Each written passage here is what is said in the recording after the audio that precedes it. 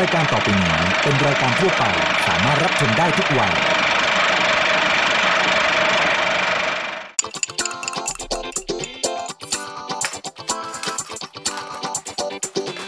กินได้ กินไม่ได้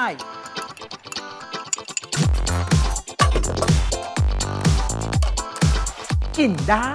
ก็กิน กินไม่ได้ก็เททิ้งไปสิ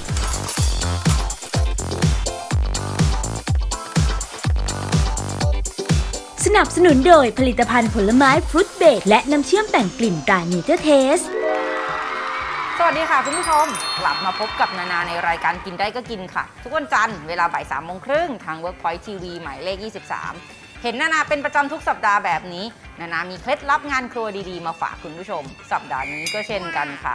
คุณผู้ชมช่วงเนี้ยหลาย ๆ คนก็บอกว่า เออ เวลาไปซื้อของรับประทานนอกบ้านอะเห็นปุ๊บก็อยากเอากลับมาทำเองที่บ้าน เพราะว่าอยู่บ้านกันก็ได้มีเวลาตกแต่งครัวใหม่ทำขนมเยอะแยะเลย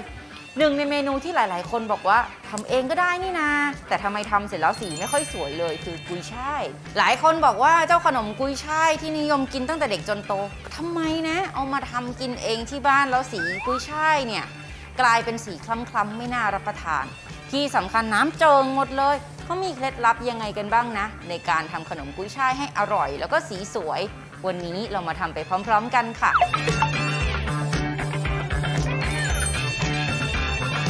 เรามาบริหารมือกันนิดหน่อยด้วยการทำเมนูกุ้ยช่ายค่ะ คุณผู้ชมซื้อใบกุ้ยช่ายสดมา เวลาใช้งานเนี่ยก่อนใช้งาน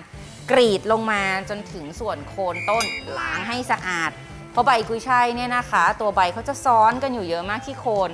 แล้วตรงนั้นเนี่ยหลายครั้งจะมีขี้ดินติดอยู่ เพราะฉะนั้นล้างให้สะอาดเนาะขั้นตอนการทำเอาเจ้าใบกุยช่ายเนี่ยนะคะ สับละเอียดใส่ลงไป วันนี้ของนานาจะหั่นเป็นชิ้นเล็กมาก ๆ เลย เพราะว่ากุยช่ายของนานาจะเอามาทำเป็นเมนูกุยช่ายทาโกะคุณเคยกินกุยช่ายเป็นก้อนกลมๆแล้ว เคยกินกุยช่ายเป็นแผ่นสี่เหลี่ยมแล้ว วันนี้นานาเอากุยช่ายมาใส่ในพิมพ์ทาโกะค่ะ ที่บ้านซื้อพิมพ์มาทำขนมไปตั้งหลายอย่างละ วันนี้เอามาทำเป็นกุยช่ายทาโกะด้วย ใส่ลงไป จากนั้นใส่น้ำมันพืชค่ะ เบกกิ้งโซดา น้ำตาลทราย และเกลือป่นเสริมไอโอดีน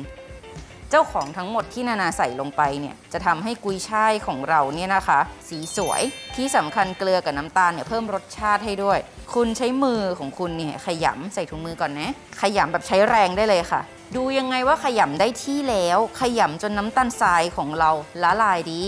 สังเกตว่าใช้เวลาไม่เกิน 10 นาทีหรอกเดี๋ยวเจ้ากุยช่ายเราเนี่ยนะคะ จะช้ำ หลังจากเขาช้ำแล้วน้ำจะออกมาจากผักเนี่ยคุณดูสิ แป๊บเดียวเองอะช้ำแบบช้ำแล้ว ถ้าคุณใช้กุยช่ายส่วนเนี้ยแบบนี้เลยแล้วเอาไปปรุงอาหารต่อ มันจะมีน้ำออกมาเพราะฉะนั้นหลังจากเขาช้ำแล้วเนี่ยนะคะ แนะนำให้คั้นน้ำออกให้หมด แล้วเอากากกุยช่ายอะไปใช้ทำขนมกุยช่ายต่ออะคุณจะเห็นว่าเจ้ากุยช่ายของเราเป็นแบบนี้แล้ว ขยำแบบนี้ขยำยากบีบน้ำออกก็ออกได้ไม่หมด เคล็ดลับของนานาง่ายนิดเดียว เดี๋ยวดูไปด้วยกัน หลังจากได้กุยช่ายแล้วเราล้างมือแล้วนะหนึ่งทีเพื่อความสะอาดของตัวเอง จากนั้นเนี่ยนะคะ เคล็ดลับของนานาในการคั้นกุยช่ายออกมา เอาผ้าขาวบางวางใส่กระชอนแบบนี้ จากนั้นคุณกวยเจ้ากุยช่ายของคุณเนี่ยใส่เข้ามาในนี้เลย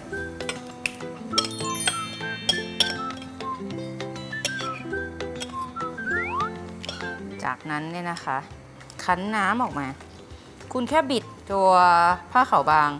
กับมืออีกมือนึงของคุณบีบข้างล่างแบบนี้เจ้ากุยช่ายของเราก็จะคายน้ำออกมาแบบนี้อะแล้วเราก็จะได้กุยช่ายเพื่อเอาไปทำขนมกุยช่ายทาโกะโดยที่ทาโกะของเราไม่เจิ่งน้ำกุยช่ายค่ะ นี่แบบนี้อืมอะเดี๋ยวเรามาดูข้างในกัน นี่ค่ะ เราจะเอาเจ้าส่วนนี้มาทำขนมกุยช่ายทาโกะกัน เรียบร้อยแล้ว ดี๋ยวเราจะเอากุยช่ายของเราใส่จานเสิร์ฟเนี่ยแบบนี้ข้างนอกกรอบๆข้างในนุ่มๆเลย จากนั้นเนี่ยนะคะ น้ำจิ้มของเราทำง่ายที่สุดเลย เรียบร้อยแล้วใส่ถ้วยเสิร์ฟของเราได้เลยอร่อยทำง่ายได้คุณค่ากับน้ำมันพืชรามรกตวันนี้เรามีเมนู มันเทศคาราเมลกรอบมาฝากกันค่ะ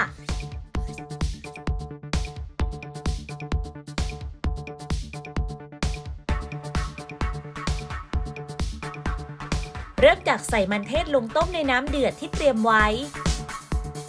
ต้มจนสุก แล้วตักขึ้นพักให้เสด็จน้ำนำลงคลุกแป้งทอดกรอบให้ทั่วทั้งชิ้นเตรียมไว้ ใส่น้ำมันรำข้าวตรามรกตลงในภาชนะนำขึ้นตั้งไฟพอร้อนนำมันเทศลงทอดจนสุกเหลืองกรอบ แล้วตักขึ้นให้เสด็จน้ำมัน เตรียมไว้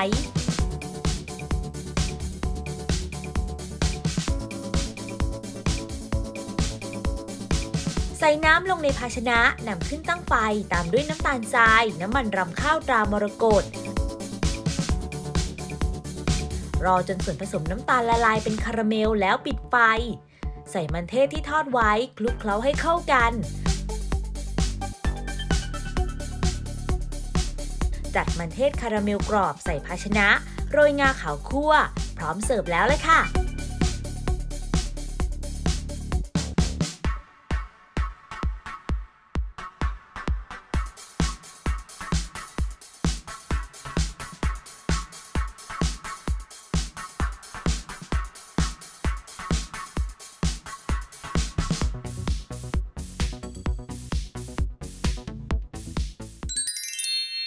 ช่วงอร่อยง่ายได้ใจสนับสนุนโดยโลโบ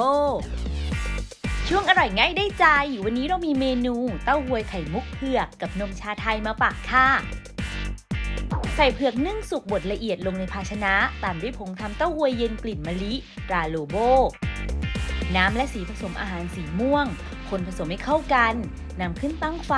คนจนส่วนผสมเดือดแล้วปิดไฟ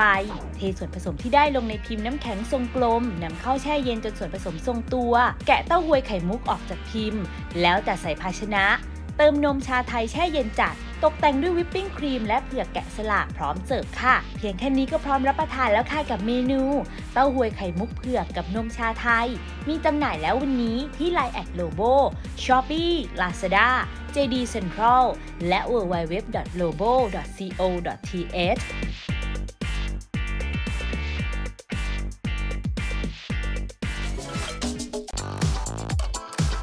กินได้ก็กิน กินไม่ได้ก็เททิ้งไปสิ